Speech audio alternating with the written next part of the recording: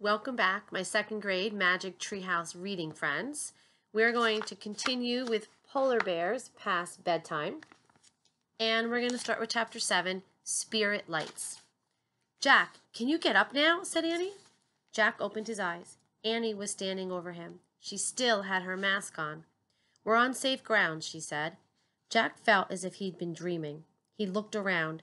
They had reached the tundra at the edge of the frozen sea. The cubs were romping in the distance, but their mother was, sti- was still sitting nearby, gazing at Jack and Annie.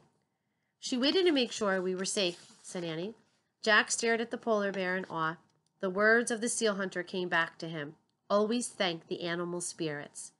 We should thank the polar bear spirit now, he said. Of course, said Annie. Jack scrambled to his feet. Still wearing his bear mask, he stood before the polar bear and pressed his hands together. We thank you, he said, bowing.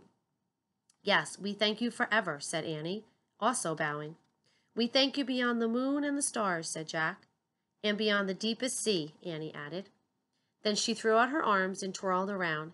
Jack did the same. They both danced around in the snow, honoring the bear.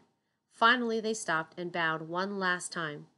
When they looked up, the polar bear rose up on her hind legs. She was twice as tall as Jack. She lowered her huge head as if she were bowing back to them. At that moment, the sky exploded. The night became a giant swirl of red, green, and purple lights.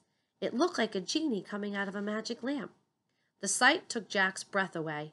He stared in wonder as the dazzling lights lit the tundra.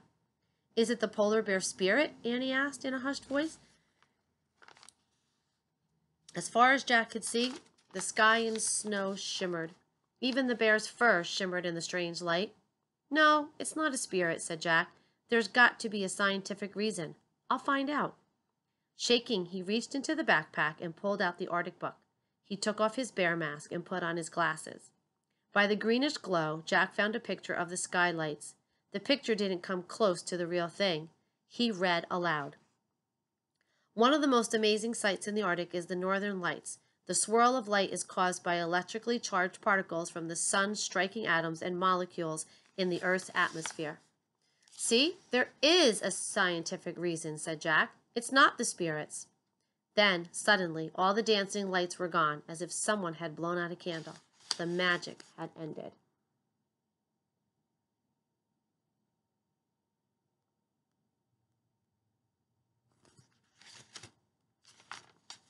Chapter 8 Riddle Solved.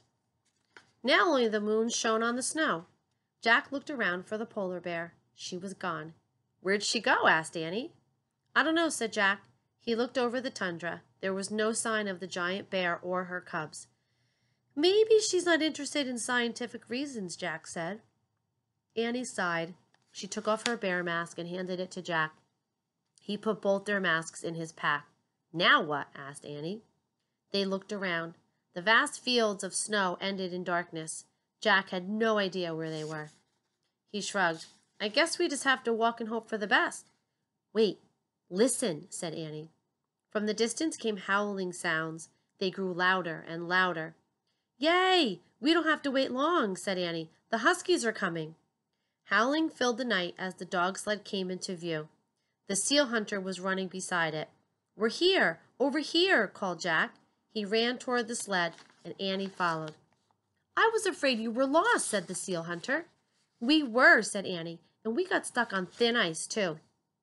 But a polar bear helped us. Yes, said Jack, and we wore your masks and they made us feel like bears. Yes, the masks made us brave, said Annie, and she caught her breath. Oh, man. Wait, said Jack. Annie's words sounded familiar. He took out his notebook and read Morgan's riddle aloud. I cover what's real and hide what's true, but sometimes I bring out the courage in you. What am I? A mask, Jack and Annie said together. The seal hunter smiled. You knew? said Annie. It was for you to discover, said the seal hunter, not me. Jack pulled the bear mask out of his backpack. Here, he said, thanks a lot. The hunter took the masks and put them inside his parka. We can go home now, said Jack. Do you mind taking us back to the treehouse? said Annie.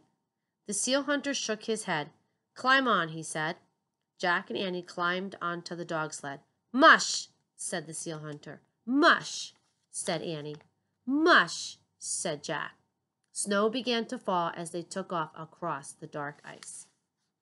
Okay, my friends, almost finished. Two more chapters to the end of the book. Perfect timing because it's the end of our year. Happy listening. Bye.